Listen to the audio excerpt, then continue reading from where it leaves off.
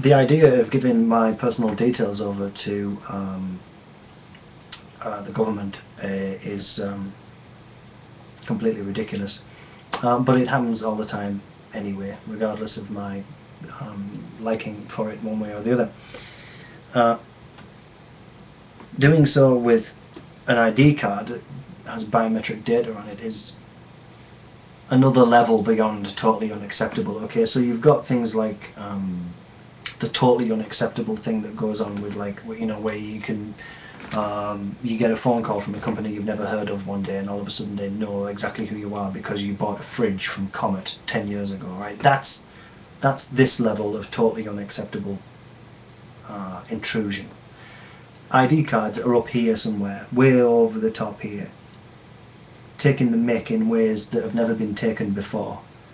And I'm leaving this video response to say no I'm not having an ID card and if you want to force me to have one, you better be prepared to find the space in prisons for me and the millions of other people like me who are just going to say no, regardless of which excuse you come up with about the fight against terrorism and all of that BS, right?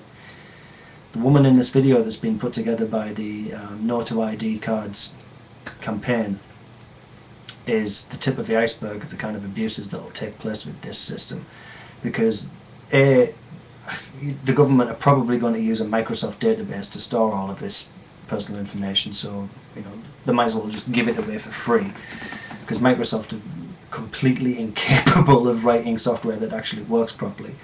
And secondly, the next government are probably going to be these Tory lot who will promptly sell all of our personal information onto their criminal friends in private industry anyway. So it's just another way for them to get their hooks into us and know everything about us and where we are 24 hours a day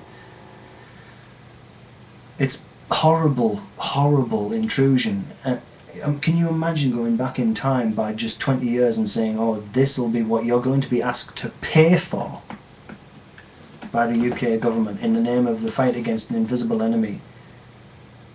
Uh, or whichever, uh, what's the other excuse that they have about why we need ID cards? Um, or there was somebody on Question Time, the BBC weekly debate programme, talking about them, in favour of them one time and and the the the, uh, the excuse that they had in favour of them was some geniusly horrible thing that ID cards could never possibly protect you against, and it's slipped my mind now.